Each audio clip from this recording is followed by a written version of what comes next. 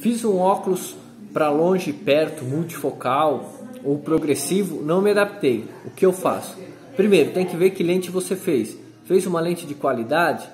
Ah, as medidas estão certas? A armação é a correta? Se todas essas respostas for sim, pô, armação adequada, uma lente boa com campo de visão amplo, o, o grau está correto, as medidas estão corretas e você não se adapta, tem pessoas que isso acontece, tá? Aí a minha sugestão é faça um óculos só para longe e um só para perto.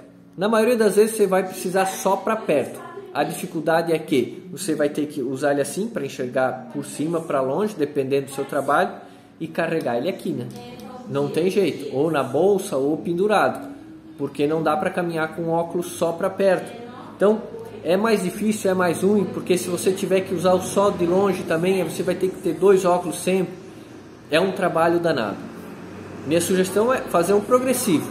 Porém, tem que ver todas essas, essas situações se você já fez e não adaptou. Se a lente era de qualidade, se as medidas estavam certas, se o grau estava certo, se a armação era adequada. Então, existem vários fatores que podem levar uma lente progressiva a dar certo e não dar certo. O importante é procure uma ótica de confiança, vier aqui na nossa loja, a gente vai conversar, vai entender o porquê que não deu certo. Às vezes o problema pode estar com você. E as óticas não dizem isso, porque é, é meio constrangedor dizer para o cliente que o problema está com ele. Porque se tudo isso está certo, ele não enxerga, o problema é ele. Às vezes ele tem um trauma, às vezes ele tem, ele é ansioso, ele é agitado, ele é meio depressivo, toma medicamento. Pô, medicamento muda a visão. Eu tinha uma, uma cliente já que tinha depressão e tomava muito remédio. E o remédio altera muito a visão. Então, um dia o óculos é bom, outro dia o óculos não é bom.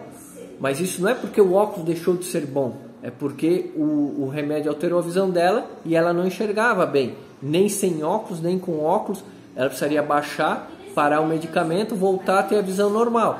Que aí o óculos ia, ia resolver o problema. Então, se atente a esses quesitos, beleza?